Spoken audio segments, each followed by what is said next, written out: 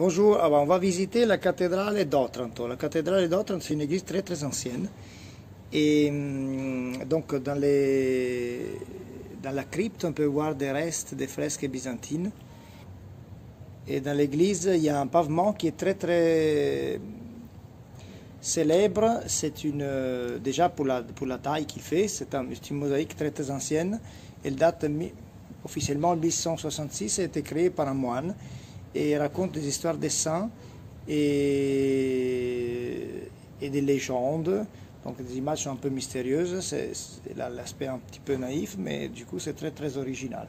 Et voilà, on est parti pour aller voir ça. Qu'est-ce que tu dis toi? Hein?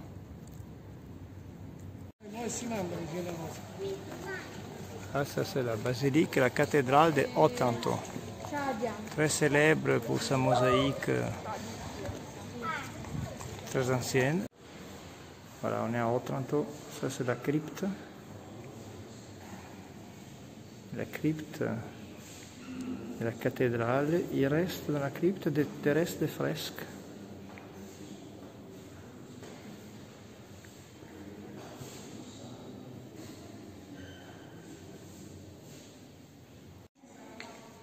Et la célébrité de la cathédrale de Otranto, c'est sa mosaïque au sol.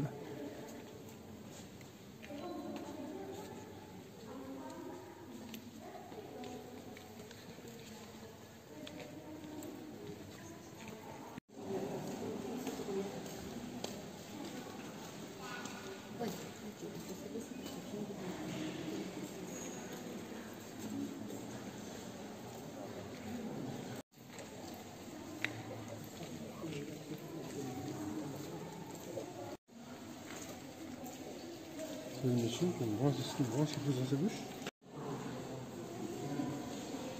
Non?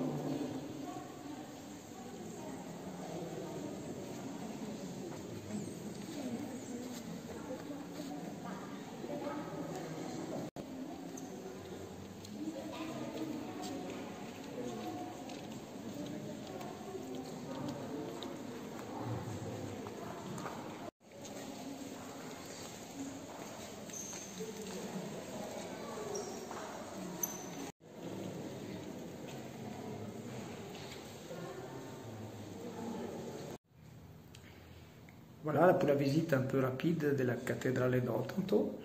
d'Otranto. Hum, alors, le moine qui a réalisé le pavement, la, mosaïque au sol, il s'appelait Pantaleone. On le connaît parce que euh, il a signé. Voilà, il y a, une signature euh, au sol, c'est écrit son nom. Et voilà, ça c'est la petite euh, histoire. Alors, Otrante, c'est aussi connu, peut-être, c'est une petite histoire en plus parce que c'est les euh, à Otrante il y a un château, très beau château, et c'est le sujet d'un roman, le premier roman gothique, et qui le titre c'est Le Château d'Otrante. C'était un roman de Horace Walpole. Walpole. Et, et, voilà, ben, comme ça vous avez une petite suggestion de lecture pour la suite. Bisous à tout le monde